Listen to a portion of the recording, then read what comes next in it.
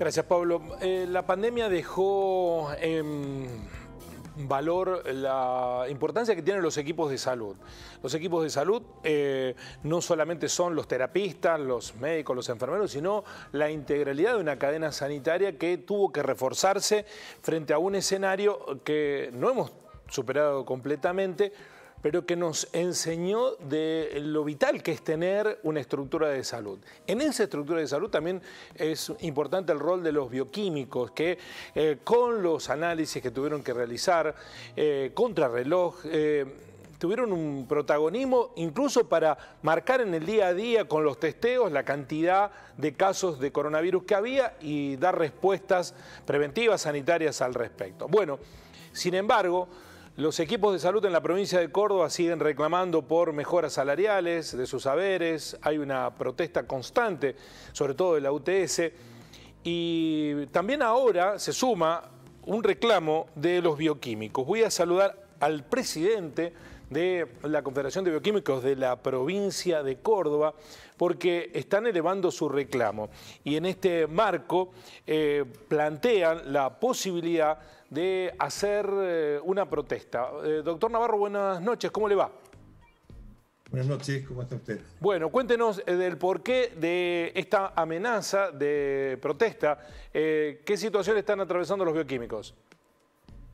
Bueno, la situación es crítica, creo que para todo, para muchos sectores de la sociedad, no solo para el sector de salud, pero, pero en particular nuestra Confederación Nacional, la CUBRA, Confederación Unificada Bioquímica de la República Argentina, ha presentado reclamos ante el PAMI Central, particularmente planteando lo, escaso de los incrementos aplicados para el valor de cápitas y prestaciones bioquímicas. Y esto se da porque para todo el año 2020 no hubo ningún tipo de actualización, planteando o sea, el argumento por el cual PAMI Central decía que, que no había que actualizarlo tenía que ver con la disminución del trabajo. Esta disminución del trabajo ocurrió durante un par de meses, que fue abril y mayo, donde hubo una disminución, y luego los niveles de prestaciones retomaron el cauce habitual. Eh, y luego en el 2021 se presentan, a partir de resoluciones, el PAMI otorga incrementos para las prestaciones en un 34% para todo el año, que se cumplimenta recién en el mes de octubre, ese 34%, tomando como base obviamente el valor del 19%. Eh, este 34% es totalmente insuficiente, ya que eh, tomando valores inflacionarios o el mismo valor que se pactó en la paritaria de la sanidad que contempla empleados de los laboratorios, fue del 45%, y que obviamente los laboratorios están casi imposibilitados de poder hacer el pago a, sus empleados en, esa proporción. Eh, y a su vez también digamos que durante todo el año 2020, desde el sector bioquímico se reclamaba la posibilidad de dar cobertura al sector de jubilados para las prestaciones COVID que no estaban incorporadas en el nomenclador. En el año 2021, a través de una resolución, el PAMI establece el pago de una cápita de 4 pesos por jubilados por mes para cubrir la PCR, o sea, para el test diagnóstico de, COVID por excelencia. Eh, este es el argumento por el cual hace hoy por hoy una discriminación en, incrementos otorgados a otros sectores de la salud, ya que para el resto fue del 45% y no el 34%. Y obviamente el sector bioquímico para poder desarrollar su actividad requiere de insumos que están vinculados no solo a la inflación, sino también al valor del dólar, porque son la mayoría de origen extranjero. Entonces la situación se ha puesto muy complicada. Eh, doctor, ¿esto es por igual en todo el país o es Córdoba o hay distritos que sufren más la situación que otros? no, es para todo el país. O sea, obviamente que la, heterogeneidad de, nuestro territorio hace que las situaciones sean diferentes de un lugar a otro, pero, pero en este caso el PAMI actúa de la misma manera. O sea, esta, esta forma de, de, haber aplicado es nada más que para el sector bioquímico este, este 34% al que hacía referencia afectaba a todas las provincias. Por eso no es una acción individual de cada una de las provincias, o en el caso nuestro de Córdoba, de nuestra federación, sino que tiene que ver puntualmente con un reclamo que hace nuestra Confederación Nacional, que es la entidad más representativa, que tiene 27 entidades provinciales eh, y, de hecho contiene a las 23 provincias más capital federal, o sea que en definitiva está todo el país nucleado en este reclamo. Em, evalúan medidas, ¿qué tipo de medidas están pensando, doctor?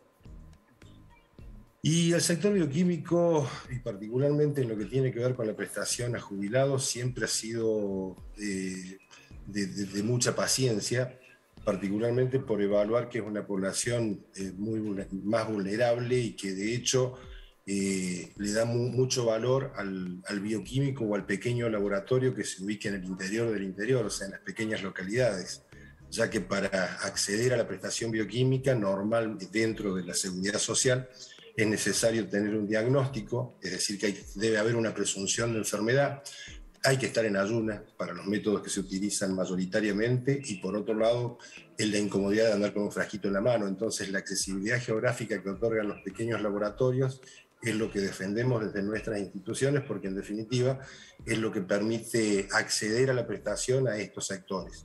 Entonces, por lo tanto, nunca se, estableció un corte de servicios a pesar de, de que la crisis no es de hoy, sino que ya viene arrastrando un buen tiempo. Eh, pero sí vemos que muchos de estos laboratorios comienzan a estar en riesgo de, poder mantener la prestación. Es decir, que con la calidad o con la cantidad que hoy el jubilado está acostumbrado. Entonces, lo que se evalúan es tratar de, de, acotar prestaciones en algún momento si fuera necesario para poder de alguna manera dar cobertura mínimamente a los casos de urgencia dos últimas preguntas. ¿Hay desde el PAMI una negativa a la negociación o un no reconocimiento de los reclamos? ¿En qué punto se encuentra lo que podría llamarse la negociación? Respecto a este último, a este último reclamo, no hay respuesta por parte del PAMI, inclusive la Confederación Nacional ha, hecho, presentado una carta documento, ha enviado una carta documento a PAMI Central dirigida al licenciado Bonovis, y, de hecho a este reclamo no hay ningún tipo de respuesta. Eh, o sea, creemos que en algún momento se dará continuidad a lo que por resolución el mismo PAMI constituyó en el año 2011, que fue crear una comisión de seguimiento del convenio bioquímico que lo, que lo conforma. Esa comisión está conformada por la Confederación Cubra y está conformada por gente de PAMI. Y mientras se reunió, digamos que se, logró que el convenio marchara de manera normal dentro de los avatares que tiene nuestra, nuestra economía y nuestra, nuestra sociedad. ¿no? Y lo último, ustedes también son un termómetro de la marcha de la pandemia con la cantidad de PCR, de análisis que se vienen realizando. En este sentido, ¿qué nos puede decir respecto del escenario en el que estamos y de las flexibilizaciones anunciadas? ¿Se corresponden con una mejora de la condición sanitaria, una caída de la detección de casos? Sí, a ver, yo, creo que, todo lo que de la forma que se actuó a nivel de, políticas sanitarias desde un comienzo, tratando de preservar de alguna manera el, el, tránsito del virus de un lugar a otro, de alguna manera también fueron contrapuestos con algún tipo de políticas, por ejemplo, esto que hablaba del PAMI, no dar cobertura durante el año 2020 en las redes de laboratorios instaladas en pequeñas localidades, obligó, por ejemplo, el traslado de, de jubilados de pequeñas localidades, y pasó lo mismo con, el APROS, pero traslado de pequeñas localidades hacia centros urbanos donde había clínicas, hospitales o algunos centros de atención más complejos. Esto generaba la movilidad del virus. Eh, pero más allá de eso, el tema de todas las medidas de protección creo que han colaborado y hoy por hoy la vacunación colabora, pero todavía a un criterio muy personal, de acuerdo a, lo que uno escucha de expertos, todavía no estamos preparados para una libertad total, porque de hecho con la aparición de las nuevas variantes y demás, eh, de alguna manera estamos en peligro de que el virus siga propagándose. Entonces me parece que, por ahí es apresurado, o por ahí las medidas se toman más desde, desde cuestiones políticas que sanitarias, que por ahí también la sociedad es como eh, no, no, no, no, las entiende, no las interpreta o no ve el peligro hasta que no lo tiene en su casa. Doctor, muchísimas gracias. Ojalá que encuentren desde el PAMI Central una respuesta a sus reclamos. Es lo que esperamos y muchísimas gracias a ustedes por preocuparse por este tema. Así son las cosas. Buenas noches.